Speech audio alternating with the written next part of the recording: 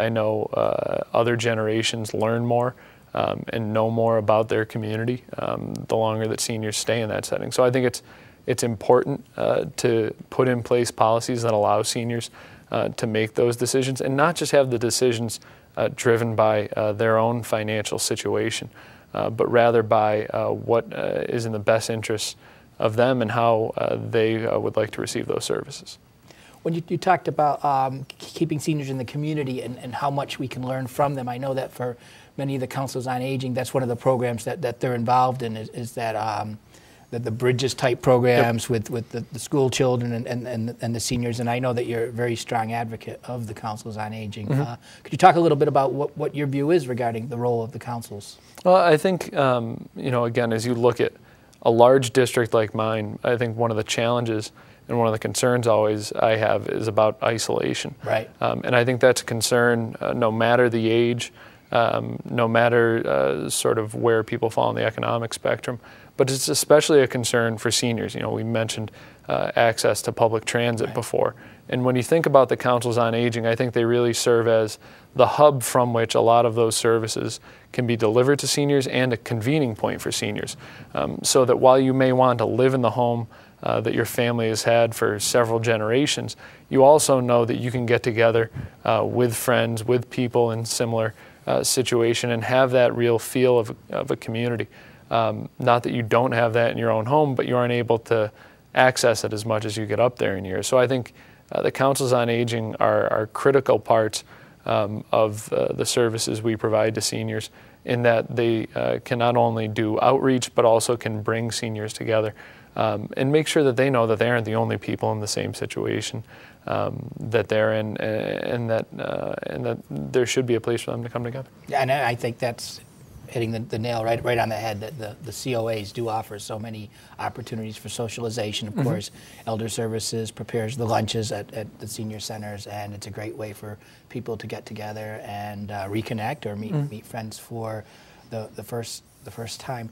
Uh, ben, what, what are your thoughts regarding senior housing? Uh, as you, you know, Elder Services has, has developed down in Lee Crossway Village, which is senior mm-hmm. housing with, with enriched services. We're currently converting the final part of the school, the Hyde building, into additional units. Mm-hmm. We've applied up to Clarksburg with, with the town of Clarksburg, hoping to get some uh, HUD 202 money up yep. there to, to, to, do the same thing. Do you see this as a, as, as a need throughout your your uh, your district, all, all three counties, particularly when we're talking the, the smaller, mm-hmm. more rural areas, to uh, to try to develop more senior housing? Yeah, absolutely. Um, I have um, I've been actually surprised by the amount of communities uh, that are talking about creative um, reuses of old buildings, um, especially for senior housing, and how many of the small communities in my district have highlighted. Uh, the need to develop uh, more options for senior housing as a real critical need within their communities. Um, I can think of off the top of my head uh, Ashfield, Conway, Clarksburg. Um, I've uh, been to and visited uh, the Crossway Villages project in Lee, which is a great project, and others. Um, and I think again, it gets back to the point we are talking about with home and community-based services. We're talking about options uh, that are being made available uh, for seniors. So either if they want to stay uh, in their home, they can. If they want to move into a setting again with more of a community feel to it, they can as well. Um, so I think it's about options, and I think absolutely it's a need. I think we're very lucky to have uh, Congressman Olver um, in his position as the uh, chair of the Appropriations Committee that controls HUD's budget. And I know the 202 program uh, for senior housing, funded by the federal government, is a real priority of his and one that he's tried to work on in his tenure there. And, and I know he knows it's a real need in Western Mass as well. And, and I, I, I agree. I, I think, you know, we were talking with the, the, the residents of Clarksburg as we were putting together our application, and one of the things we heard time and time again is they didn't want to have to move down to the city, meaning North Adams. Right. They wanted to stay right in Clarksburg as, as well they, they should be able to. And mm-hmm. I think all these, these small towns, you know, that have the, those, these classic buildings yep. that are, you know, in, in, in they're not being used, uh, but they're great buildings that if we could just find a way to convert more of them and, and, then help people to be able to stay in their own communities. Even if they can no longer stay in their own home, at least they can stay in their community mm-hmm. and they'll be close to their friends and their families. And it's just a, I think it's a, it's a win win situation. Absolutely. So let's talk about the budget as we're talking about win-win situations. Uh, elder elder service line items have been cut the last couple years. Um, we were cut in the governor's budget last year, and before that, the 9C cuts. We were very pleased that the governor's budget for this year, which um, he submitted to the legislature in January, basically level funded elder line items at their already reduced levels. Uh, as that budget has come out or is coming out of the, the House, it looks like the House is going to, to do the same, to keep them at their, their current levels. What do you think we can expect in the Senate? Uh, I think the hope would be to do something very similar to what both the governor and the House have done, which I know even level funding is not uh, in and of itself uh, really level funding, that there are built in costs uh, that go up, whether it's utilities, healthcare, or others. Um, so it, uh, even level funding makes things difficult.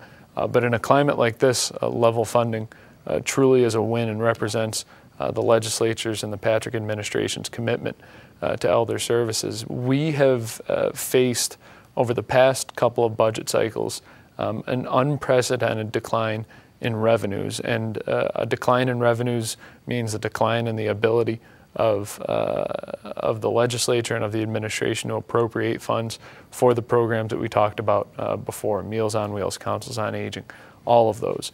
Um, and that has forced us to have to make difficult decisions. Uh, thankfully, we had a rainy day account that we were able to call on that we had over two billion dollars in. Uh, thanks to that, we've had we've been able to avoid uh, even deeper cuts into core services. Um, we uh, took the step of raising uh, the state sales tax. By no means a popular decision or one that any of us took lightly, uh, but one that we felt was important to be able to continue uh, to provide services and avoid what would have been incredibly dramatic and deep cuts uh, without that funding. Um, so the budget picture moving forward um, is better uh, moving forward than it is looking back, in the sense that revenues have continued uh, to tick up month to month and be above the benchmark projections that we've set. Um, now, it is a slow increase that we have seen after a precipitous decline, um, which will be difficult um, uh, for us to work our way um, back to where we were before. The other thing uh, that is sort of hanging over everyone's head is the fact that we have had uh, a great deal of assistance from the federal Right. government uh, to get through this. Um, built into this year's budget is over a billion dollars in assistance from the federal government that we do not know um, what to expect from in coming years. We do not know if part of it will be there, all of it, none of it. Um, so we have um, we have managed our way through uh, the crisis for the most part, and that management has been um, largely um, looked upon favorably by bonding and rating agencies, um, which uh, sounds uh, boring but is incredibly important uh, when it comes to making capital investments in the Commonwealth. So whether that's building a science center at MCLA or repairing the Hadley Overpass or fixing uh, the Mall Road, all of those uh, projects put people to work and improve our infrastructure. Um, so there is, it, it has not been an easy process, uh, but it is one I think the, the administration deserves credit for managing well. Um, and hopefully uh, we have uh, made our way through the worst of it. Um, and we'll be able to build on and make those investments in, in critical services that we all support. I, I think that while perhaps it, it may be boring to some, you know, I think it's it's inc- incredibly important, and, and I think the legislature and the governor deserve an awful lot of credit for an awful lot of things. I, I'm glad you mentioned the increase in, in the sales tax last year because I, I shudder to think where we all would be without that. Well, and it's it's important to point out too. This year on the ballot, there will be uh, two ballot initiatives uh, that would um, uh, cut uh, tax increases uh, that were put in place last year. Now, no one likes tax increases in any way, shape, or form, um, but um, we have certain services that, as a Commonwealth, we have decided uh, to provide, and uh, it isn't as if um, times get tough and we then say, all right, those aren't important anymore. Do we make cuts? Yes. Do we find ways to do things differently? Absolutely. Uh, but uh, somewhere there is a kid who's in second grade and they only get second grade once. Um, so we shouldn't say, well, you'll get a little bit worse second grade. There'll be a couple more kids in the class because you just happen to be born at a time at such where you had to be in second grade uh, during a recession. Uh, there's a senior who's dependent on Meals on Wheels, and we can't say, well, that's not coming now. You happened uh, to be dependent on Meals on Wheels on a time when, hey, times got tough, so sorry. Now, do we all have to find ways to make government work more effectively and efficiently and provide those services in the best way possible for taxpayers? Absolutely. Um, but we